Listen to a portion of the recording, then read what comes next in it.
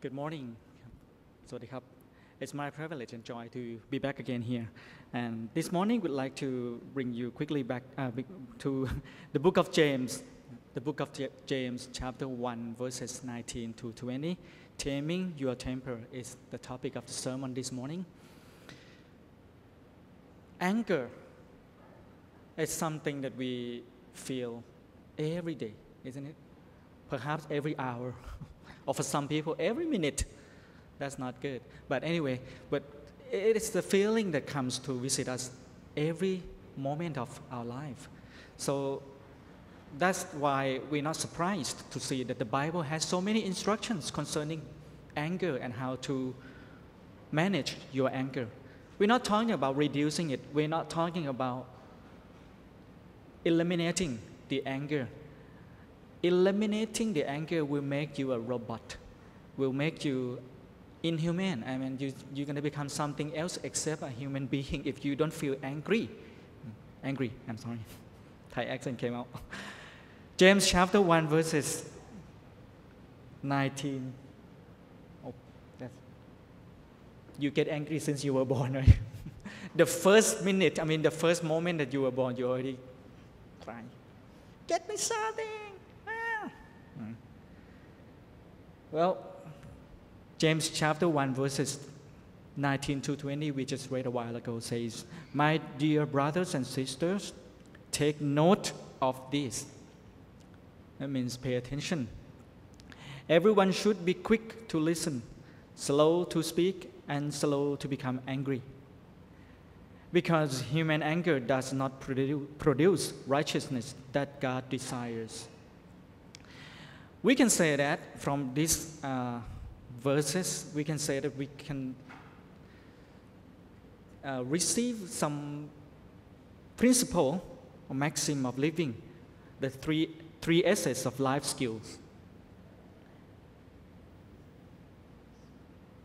The first one is swift to hear. The second one, the second S is slow to speak. And when the Bible says you are too slow to speak, it doesn't mean you have to speak like this. It just means be careful when you speak. You can speak very fast, but be careful when you speak. And lastly, slow to be angry. Well, you see, swift to hear, it's something uh, concerning your speaking organ, your mouth, your lips. Slow to hear, I mean, slow to speak, I'm sorry, slow to hear, it's concerning your ear. Um, you see the problem with speaking too fast. Swift to hear is concerning your ear the organ of receiving the, the sound. But slow to speak is concerned the, the, the organ, the speaking organ. But now it's slow to be angry. It doesn't have anything to do with your outer organ, right? So the first one and the second one will create or will, you know, eventually makes uh, another principle of how you should conduct your, your anger, how you should control your anger. Swift to hear means it doesn't mean you have to, to stick your nose everywhere. It doesn't mean you have to try to know the personal life of everybody. But to, swift to hear means to pay attention when you, when you have to hear something and think about it carefully uh, when we talk about slow to speak, means to think before you speak. Yeah. First, think before, think when you hear, think before you speak. So when we use this equation consistently, we can we have conclusion like this. When you are slow to be angry, it means think carefully when you are angry. Why you are angry? to what you are at, with what you are angry at, with. Mm. Proverbs 4, uh, verses, uh, I'm sorry, chapter 14, verse 17, 8, and 29 says, A quick tempered person does foolish things. And verse 29 says, Whoever is patient has great understanding, but one who is quick tempered displays folly. In other words, the Bible is saying that anger, unreasonable anger, if you will, reduces your intelligence. It doesn't matter how much education you have, it doesn't matter how talented you are. When you get angry unreasonably, you are a fool. You become stupid, and your degree doesn't help, and your education doesn't do any good. And it doesn't matter how wise you are, when you get angry unreasonably, you are just as good as an educated, an educated person that you possibly look uh, down on. So be careful when you are angry. Or perhaps don't get angry unreasonably. I have to emphasize on that unreasonably, unreasonable anger, because in the end you will see that anger itself is not a, a bad thing, but it depends on how you use it. Right? Next, in Proverbs 15, verse 8 says, A hot tempered person stirs up conflict, but the one who is patient calms a quarrel. Not only controlling your anger makes you a wiser person, but makes you a peaceful person. Uh, somebody who would be called children of God because Jesus said, Whoever create peace, whoever bring peace to the society, God will call him children. Because that's one of the, the attributes of God. Peace, peaceful. Are you at peace? Are you uh, at peace with God? If not, perhaps you are angry with something. And after that, we will uh, come to the conclusion of what do we do when we are angry with something or someone. Proverbs 16:32 says, "Better a patient person than a warrior, one with self-control than one who takes a city." When we, when we read this verse, we have to ask a question who is a warrior? How would you choose someone to go out in war. I'm sorry, I forgot to uh, scroll down. All right, we are here now. Proverbs 16 32. Better a patient person than a warrior. How would you choose a warrior to go out for to, to the war? What kind of requirements? What kind of uh, criteria would you use in order to select somebody to become a warrior? Would you choose somebody weak? Would you choose somebody who doesn't have the fighting skill? Perhaps not, unless you are really desperate. You would choose the strongest person in the city to go out for war. So, what does the Bible say here? The Bible says that if you can control your anger, then you are stronger than the strongest person nearest to you. Strength doesn't require only muscle. Well, muscles doesn't define strength, it defines violence. The real strength doesn't need muscles. The real strength is the strength of the heart, not the strength of the body because you can overcome some strong person without using strength. If you use the right wordings, if you use, use the right wisdom, and you, if you use the right strategy, which is actually the real strength in you. It's not about how strong physically you are, but how strong emotionally and spiritually you are. You are strong when you use less muscles. I'm not talking about working out, okay? You have to work out and you have to go for exercise. Don't take it the wrong way. Next, Proverbs 19 19 says, A hot tempered person must pay the penalty. Rescue them, And you will have to do it again. I'm not sure if you have watched some sport news lately about the soccer news in Thailand. You know, I mean, when we watch sport news lately, I, in Thailand, I feel like we're watching news about lady society in Thailand because it's all about how, how Thai ladies accomplish internationally in the sport world.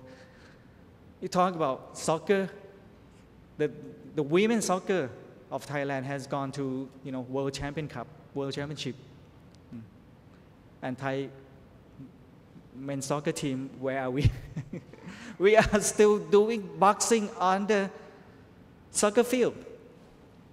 And we use anger everywhere. And we, if, if, if the men would just stop drinking and would just stop gambling, I'm sure we can do accomplish more than this. We can accomplish more than this. We're talking about volleyball. The women are ahead of us now, ahead of the men. Soccer, even soccer, the sport that use strength. Every sport use strength, but more strength. We're talking about taekwondo. We're talking about weightlifting. Thai ladies are just superior. I mean, it's just wonderful. We, they get gold medal after gold medal after gold medal. But the Thai, some Thai men, especially the, in the soccer society, their anger just kill them. They don't control their anger, and what happened? They get, they receive their penalty again and again. I'm so tired of watching soccer with anger because it's, it's not beautiful. I mean, you, you can even just make a score of zero to zero and make it beautiful to me. I'm still satisfied more than just watching you making it five to five against three or whatever it is and display the anger without control. That is not fun. That is not beautiful. Next, Proverbs 22, 24 to 25 says, Do not make friends with a hot tempered person. Do not associate with one easily angered, or you may learn their ways and get yourself ensnared. The Bible says that not only that you will not be angry unreasonably, but try to stay away, try to stay away from those who are angry easily. Because why? Not only you might receive the result of their anger, but you will learn the way of their anger. That means you allow that person to influence you.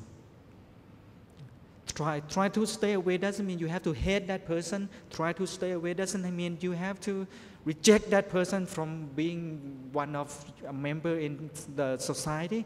But to try to stay away means emotionally, socially, or another way I say, try not to let them influence you, but you instead in influence them. How do we influence them then? Let's take a look at the next verse.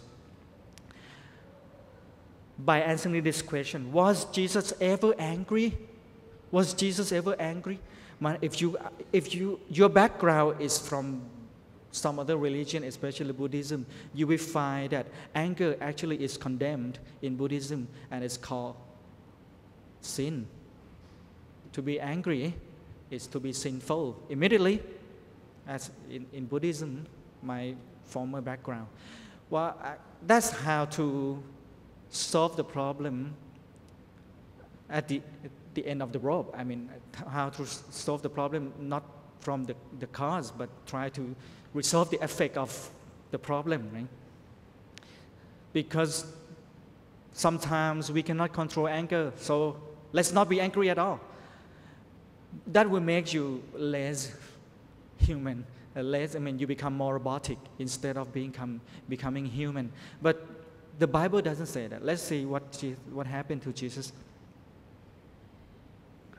First, he was angry at least three times. First, uh, the first time he got angry, it was when he cleared the temple. Remember in John's chapter 2, verses thir- uh, 13 to 17. We don't have enough time to do that, but if you would please go back to your private time and Look it up in John chapter 2. Jesus was angry when he, when he saw some influential people in the society took up some area in the temple which were supposed to use for prayer, especially for the Gentile uh, believers at that time. So he cleared the temple in order that people would be able to come and worship God. Jesus got angry at that time, but then he used his anger to allow people to worship God. Are you angry today? Are you angry with someone, someone some situation, something? Use it to help people worship God. Clear the temple. Use your anger to clear the temple. I don't mean only this place. Clear the temple of your life. Clear the temple of your workplace. Clear anything, anything that obstruct the, the way that people would come to worship God. Use your anger to clear that. Secondly, Jesus got angry. On one occasion, he went into a, uh, he went into a synagogue on a Sabbath day, and he was going to heal some, somebody with a, a you know, withered hand. And the people in the synagogue did not agree with him. So Jesus got angry. Well, how come you don't see the, you don't see the value, you don't value the people who are lacking the opportunity to, to be a part of society because of their physical shortage, because of their, their physical problem. So Jesus got angry, and Jesus, what did he do? He didn't go to the people in the synagogue or to the Pharisee or to those people who disagree with him. He didn't go to them and hit them and beat them up. No, he used his anger to heal the, the sick man, the man with a withered hand, withered arm. Somebody benefit from Jesus' anger physically. Are you angry with something today? Are you angry with someone today? Look around. Somebody is in need of your help. Use your anger to help somebody physically. Number three, Jesus was angry when in another in the other occasion when a lot of people came to see him. And perhaps the disciples were trying to you know set up a queue you know, set up the order of seeing jesus. And some people brought little children. Little children in this case perhaps means children who could not walk by themselves because in the bible it says their parents or their adults that grown up, carried them to Jesus. And the disciple says, No, not this place is not for children. This place is for those who understands what Jesus says or whatever reason the Bible didn't say. Then Jesus got angry because people, some people did not value the, I mean, did, did not see the value of children. Jesus got angry and what did he do? He didn't beat anybody up, he didn't destroy anything. He uses his anger to bless the children. He said, Bring the children to me. And Jesus carried them. He wasn't angry at that time, though. When he carried the children, he blessed them, he spent time with them. Are you angry today with someone, some people, with some things in your life, with some situation in your life? Look at what Jesus did. First time he got angry, and some people got blessed spiritually. The second time Jesus was angry, and people got blessed physically. And the third time Jesus got angry, and some little children got blessed spiritually. Are you angry today? Or you can be blessing by your anger if you use your anger correctly, biblically. Bless somebody physically, bless some people emotionally, bless some people spiritually. Because you see this Jesus got angry, but he never became angry for his own benefits. That's the key. Are you angry today with some people, with some situations? Are you trying to resolve your anger by benefiting yourself, or are you trying to benefit others? That's a difference. Angry, I mean, anger, it's not wrong by itself. It's just like fire. Is, is fire good or bad? It depends how you use it. If you use it for cooking, oh, it's very good. I like it when it's used for cooking. But if you don't control it, the fire can burn your house down and can destroy everything you have. The same way as anger does. Anger is good if you control it. We're not talking about, eliminating it, we're talking about controlling it. Don't eliminate your anger, but control it and use it because it empowers you, it moves you, it mobilizes you to do something good for the Lord. God is angry too, but He never uses His anger in the wrong way. Ephesians, lastly, Ephesians chapter 4, verse, verse 26 says, In your anger, the Bible knows that you know you can get angry. You cannot stop it. In your anger, do not sin. Do not let the sun go down while you are still angry. Of course, it doesn't mean you have to go somewhere and stop the sun. Do not let the sun go down. No, no, no. The sun will go down anyway, but then do not let your anger linger too long. Two D's to think about it right now. Two D's. The first D is decision. So do not go the wrong way. And the second D, when you get angry, duration. You do not, do not stay angry for a long time. Two D's.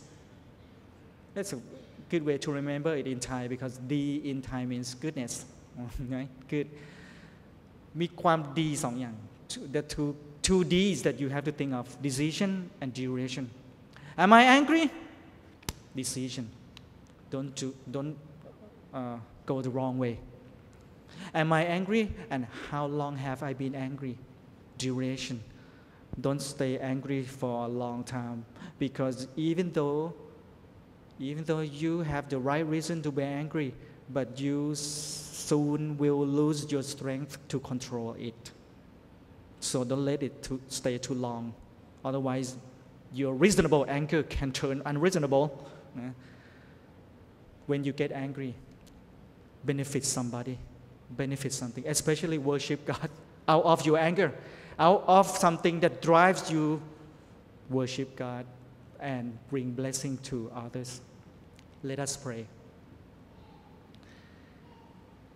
Heavenly Father, we thank you for giving us emotions, moods, and things that drives us. We know that we are human because we have drives, we have some things that mobilize us, motivate us. But we pray that we would use the motivations, we use our emotions in the right way, the way that we glorify you, the way that we will help others to, uh, pros- to become prosper, prosperous. We pray that we would bless the society through all kind of emotions that we have. We thank you for uh, the principles of your word that have taught us this morning. We thank you in Jesus' name. Amen.